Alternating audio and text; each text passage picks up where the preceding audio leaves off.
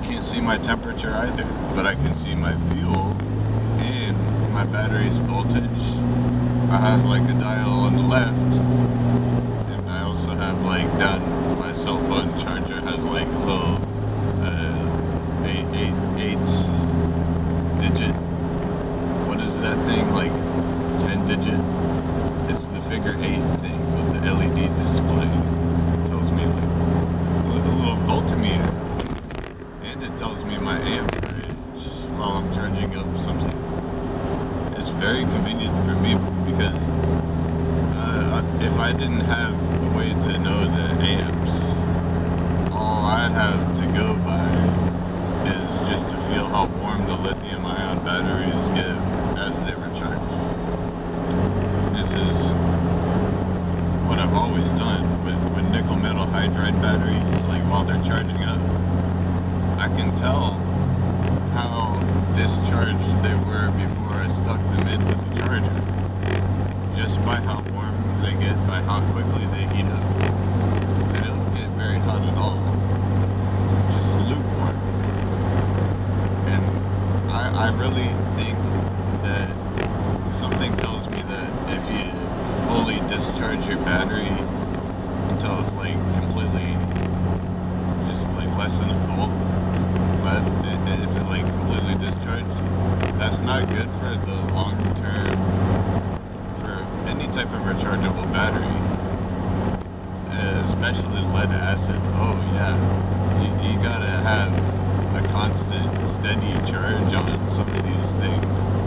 Lithium ion, even.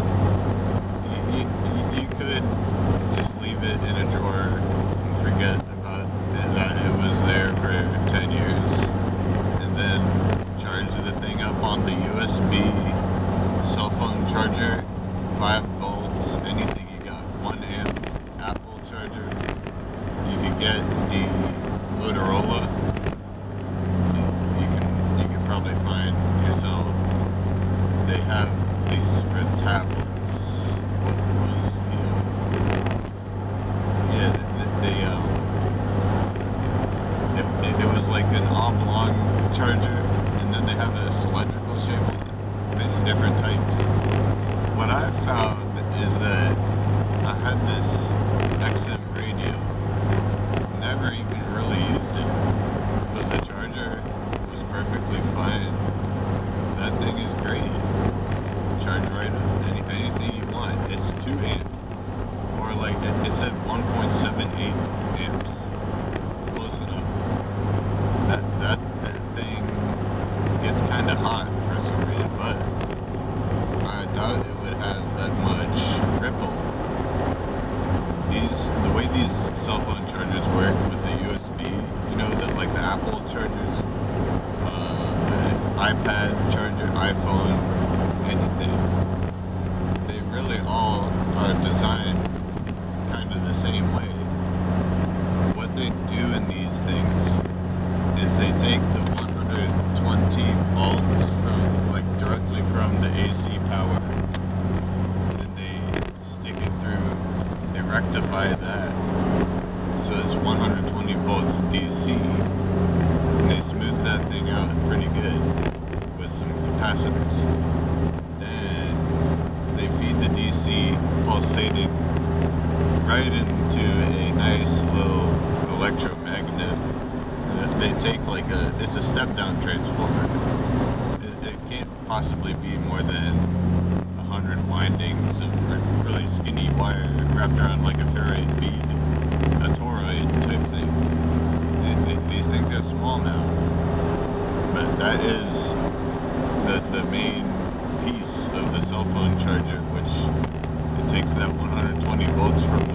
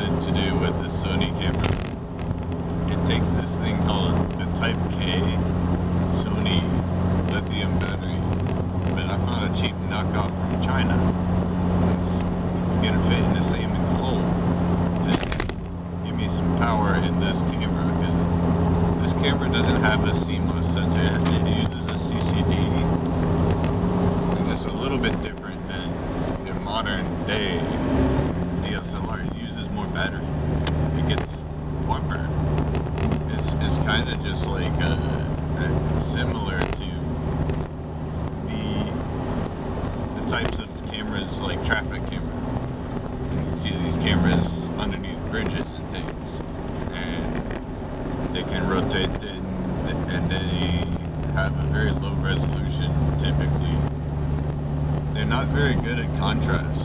I don't know what it is about CCD and CMOS.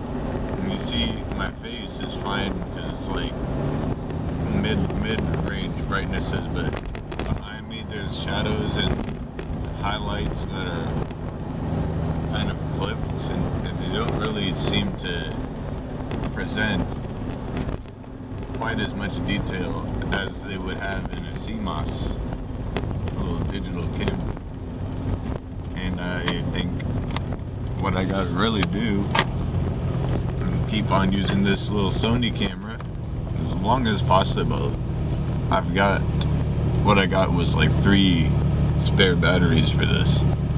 Gotta like cycle through them because the thing with lithium ion rechargeable batteries is when you first charge the thing up, it has to build a little layer called SEI layer. Some kind of a semiconductor or something. Uh, what this does is it just protects the battery from discharging by itself on its own. The self-discharge current is so low, if you build it up just the right way, it has to be done exactly. Oh, this, this little Sony camcorder is nice. 'Cause, Like, I, I can flip that, uh, shoot a little selfie, rotate it's fully adjusted going to anywhere I want and I can see the viewfinder I got kind of scared of using this camera at first because there was like a little plastic film on, on the screen on the back the viewfinder had to peel that off just to see the picture like the camera I had since I was a kid you know this is old ancient Sony camcorder uh, it, it was just the plastic screen protector was all scratched up. Just a little sheet of plastic. Made it hard to see the picture. So as soon as I took that off, it's crystal clear now. I don't know if I would bother getting like another screen protector for it, but have a reason for having one there. I mean, the delicate little plastic uh, window in the display. It's, it's bright enough to see it. You can adjust the brightness too. It's, it's no less brighter than uh, any kind of Canon PowerShot from the same time era. And this, I, I, I really enjoy just having some 1080p 30 FPS. And I really don't know how to adjust the, the filing system on this SD card. The problem I have is my SD card reader is to plug into my iPhone. Uh, so I could download the pictures right into my, my cell phone, share them with anyone, upload some some movie to YouTube.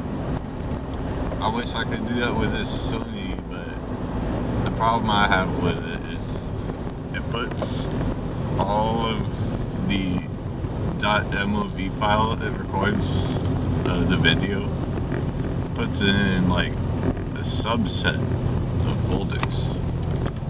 Kind of like a little, a little tree. Like, I, I don't know how to get a DCIM. In the setup for this camera, when you go into the menu and the settings, there is a little tab where it's like memory. Um, it says mass storage, whatever the heck that means. And I, I really don't know because like you can either set the thing to single or multi. And it says LUN, the settings for the memory, the mass storage.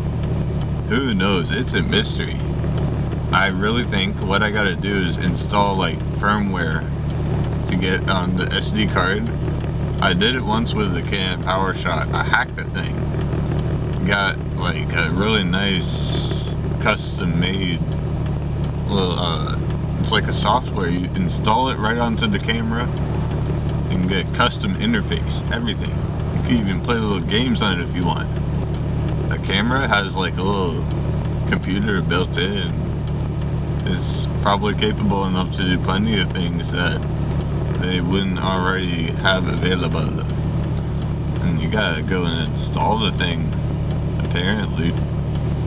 What uh, all I want to do is download my movies onto my iPhone through my SD card reader. My new SD card reader plugs right into my iPhone. It's just so convenient. It's fast.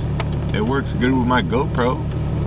With a DCIM folder. Why can't I get? See, the folder says mp underscore root. Then it has another folder underneath that says anv underscore zero one for like animated dot .mov. I really don't know why. Why can't this camera just record in dot .mp4 MPEG and it, it, it compresses the uh, the video if, if, if it would do that. But this camera actually, the .mov files are uncompressed, aren't they?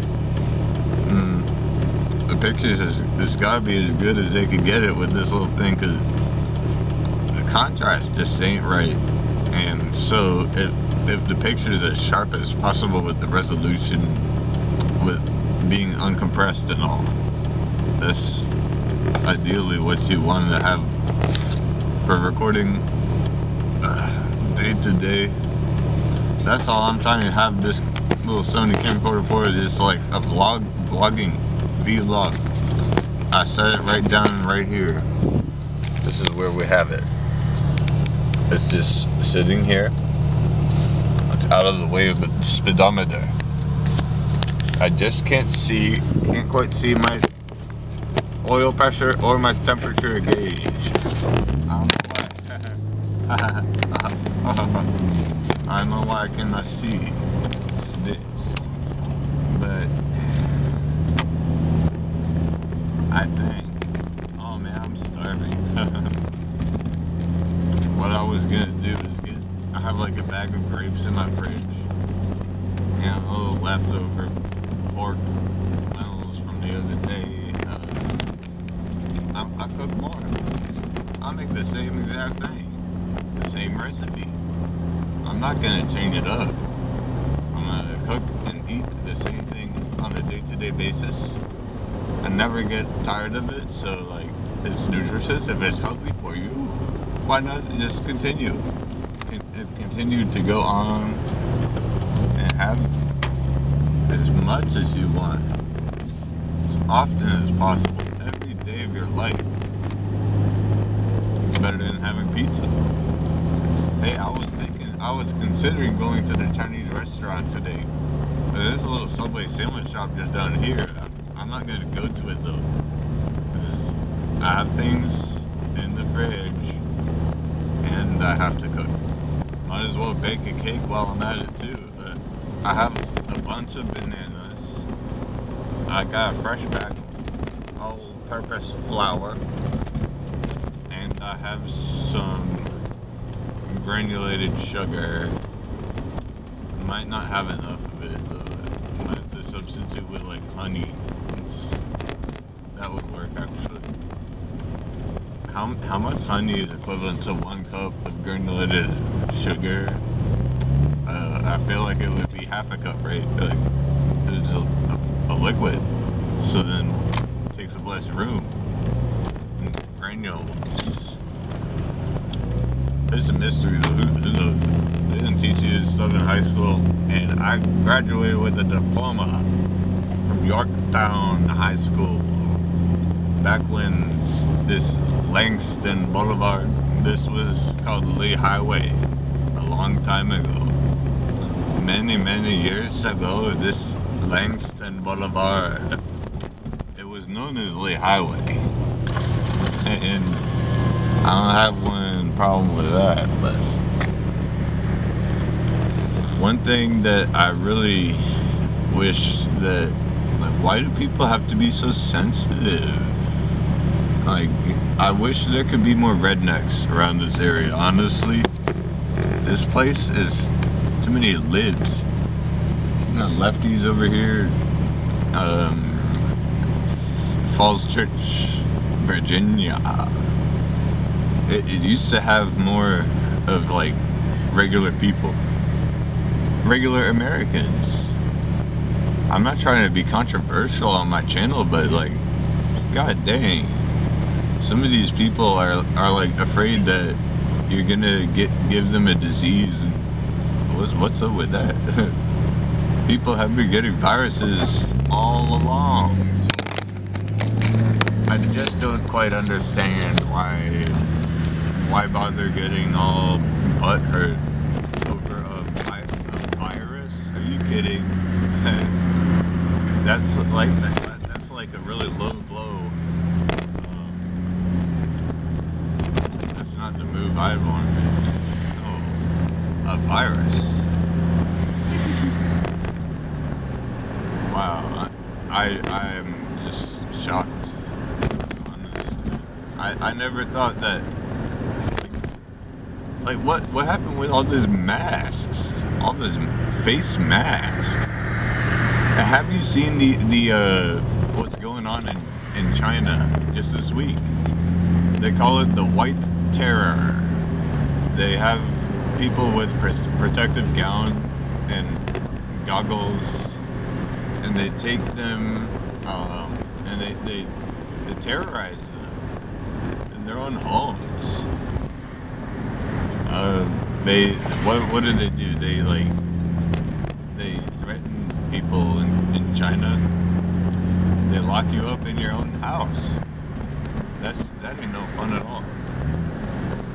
Uh, well, what what if you're in China and you just so happen to be unvaccinated? Are they gonna come for you? Like that's some scary ass shit. Oh man, like whew. That's spooky as, as a mofo. Oh man, like China. hey, I don't have an issue with the place, but it, it just used to be like way different back in like ancient China, you know? That was so long ago, no one even knows really what ancient China used to be like. They just had journals. They, they take they take the, uh, the philosopher Lao Tzu, the Chinese philosopher. They write down the quotes and, and just make a recorded record, written, and take any pictures. The, the artwork from from that time, it was. It, I guess you could say it's a little dramatization. It's like not even realistic. Kind of like a fantasy ancient China. Or like, I don't know much about. See, they didn't teach you in high school. I'm I'm pretty ignorant. That is why I am arrogant. Because I'm so ignorant on the topic. China, Chinese. All I know is that they, what they do is they, uh, they got like tariffs or Vladimir Putin, or something like that. I don't know. Like I listen to the FM radio 24/7, but I don't quite catch all of it. You know, I'm, I'm kind of a simple guy, I guess. I don't know what it is about it. Like, oh man. Guess I'll go to the CVS. Why not? I'm ready to. I need. I need like something to sip on. Cold beverage. Since I don't drink no more, I'll get like coconut water and probably. I, I don't need any milk, but I do need chocolate milk. I have to get some. I'll, I'll drink it right on the spot too. Chug it in the parking lot. Maybe even take one home. Get two uh, that, that's how we'll do it around here. We, we just gotta head down to the CVS and then. Hey, I was I was planning to go there anyway. it's a fine little spot. Get each and anything you could ever want right at the CVS. I didn't used to go to that place because I didn't support their business. I used to like small business type things.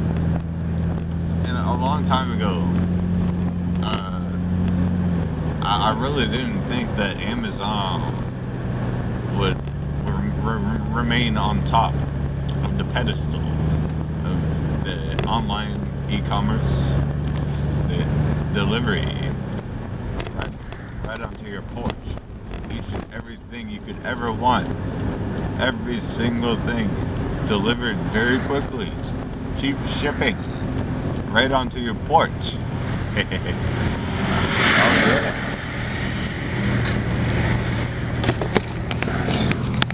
behind a cement truck. Okay then.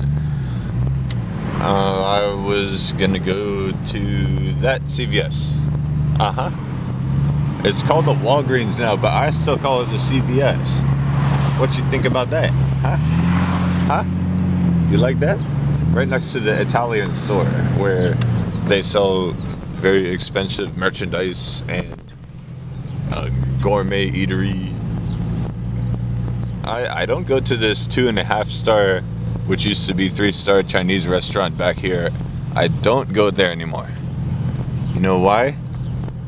As soon as I walk into the place, they get all antsy and it, it's like, or they, they don't even come out to like greet you. They make you stand there and wait for 10 minutes. Even if the food is sitting there, already cooked. You go there right on time to come and grab it and they don't have they, they don't have anyone there at the front desk to hand it to you. So like what are you supposed to do? Take it? Like i'm not that type of guy though. Like that's a sleazy thing to do. Westover. Oh man this place sucks. Why am i over here damn it i should have never come here holy shit I guess I'll just go to CVS. get, I'm, I'm thirsty today. Might have to get a little beverage to sip on. I need coconut water. I'm just happy to be here. So we started off on like 495 northbound I was headed out of Springfield, Virginia. Now I'm in Arlington, Virginia. And so I really don't know exactly when the recording finish up on this little Sony camcorder. Ooh, I, I like these I like these hats.